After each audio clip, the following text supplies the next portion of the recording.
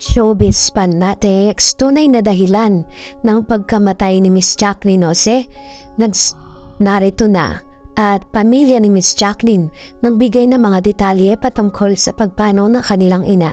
Ang lahat ng yan, but before that, if you haven't subscribed yet to my YouTube channel, please don't forget to like, share, and subscribe at hit rin ang notification bell for more showbiz updates. Bago tayo magsimula, nais ko po muna magpasalamat sa lahat ng mga legit viewers, subscribers at ang lahat ng mga legit na nagmamahal at sumusubaybay sa lahat ng ating mga updates. Maraming maraming salamat po. And for today's video, ay uh, ilang oras pa lang po ang nakakaraan nang ikukumpirmahin ng publiko ng at ng ilang mga legit na sources na itong si Miss Jacqueline Jose ay pumanaw na sa edad na anim na po. Nagluloksa ang buong showbiz industry sa kanyang pagpanaw, sa kanyang uh, sudden or bigla ang pagpanaw. Kaya naman ang pamilya po ni Miss Jacqueline Jose ay nanghihingi ng panalangin para sa lahat ng mga nakikiramay para sa actress. Nagluloksa ang local entertainment industry dahil sa nakakagulat na balitang pumanaw na ang multi-awarded actress na si Jacqueline Jose. Binawian ng buhay si Jacqueline sa kanyang tahanan sa Marikina City noong Sabado, March 2, 2024. Siya ay 60 years old. Kinumpirma ng ilang mga online news ang talent or ng PPL Entertainment Incorporated ang talent management na kinabibilangan ni Jacqueline ng malungkot na balita.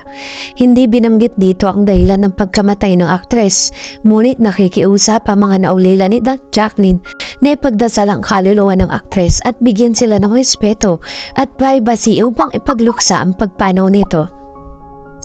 Nakasaad sa kanilang Facebook post nitong lunes ng ating gabi March 4, it saddened us to inform everyone of the untimely passing of Miss Jacqueline Jose, real name Merck, Mary Jane Jack.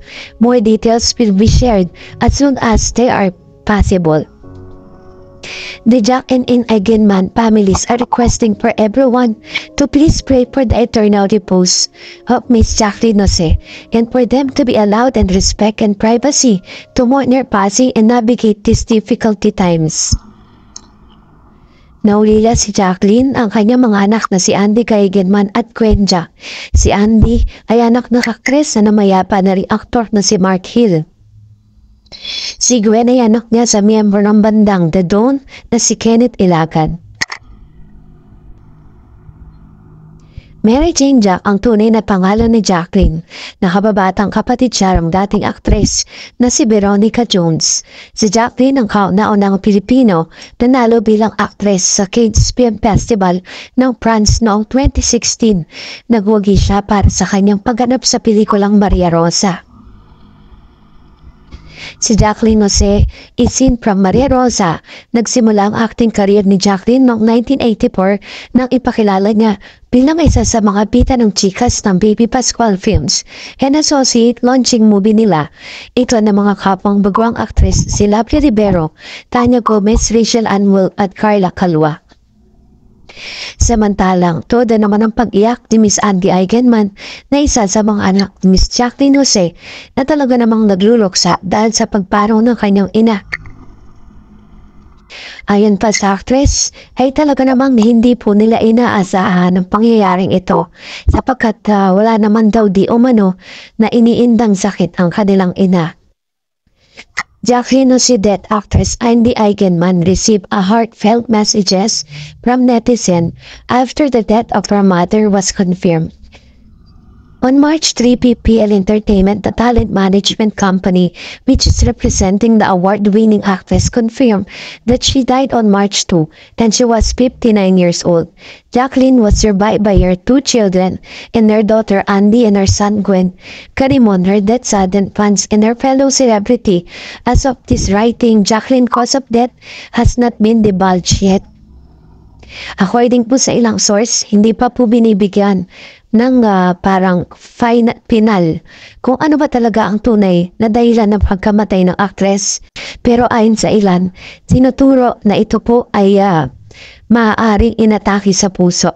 Following this sad announcement, netizen for their love and support for Andy Eigenman in her recent Instagram post. Andy shared a photo of her firstborn Ellie on March through 3.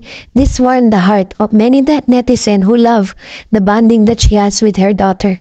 However, more recent moments were about Jacqueline Jose, who's here after reading the news about Miss Jacqueline Jose passing, nakakabigla naman our condo- condolences Miss and Andy and fam.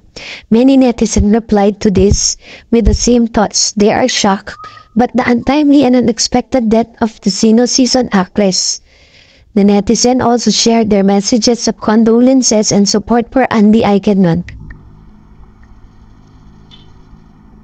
It is known so many showbiz that Andy and Jacqueline relationship went through ups and downs. There was support about their conflicts. Back in 2022, Andy shared a post about narcissistic parents. It was inevitable for netizen to conclude that this was intended for her mother. And prior to this season, actress had parinig to Andy and her partner Pilmar Alipayo. Despite the issue that surfaced between the mother and daughter, report that they were able to reconcile back in December 2022 circulated it was because they were seen spending time together. So, si Miss Jacqueline Jose po ay huling napanood bilang chip spina sa Batang Quiapo. At dahil dito, pati po si Mr. Coco Martin ay nagluluksa din sa kanyang pagpanaw. Sa huling, uh, sa huli pong storya, ay namataan pa siya na siya po ay parang, uh, he was being killed by someone there sa isa sa mga karakter doon. At uh, Napakalaki po ng parte ni Miss Jacqueline Jose sa buhay po ni Tanggol. Kaya naman talagang uh, grabe po yung, yung uh, twist ng story na ito kasi hindi lang po siya namayapa sa storya but still siya po ay namayapa sa totoong buhay. Kaya naman ang hinayang ilan sa kanya pong uh, naging contribution dito po sa Batang Quiapo, the top-rated teleserye in the Philippines. So inaabangan po natin kung paano magkakaroon ng twist ang kwento. Uh, tanging, ang, ang tanging gusto lang ng pamilya ni Miss Jacqueline Nusi ngayon ay ipagdasal ang kaluluwa ni Miss Jacqueline sa kanyang uh, sa kanyang mabigla ang pagpanaw.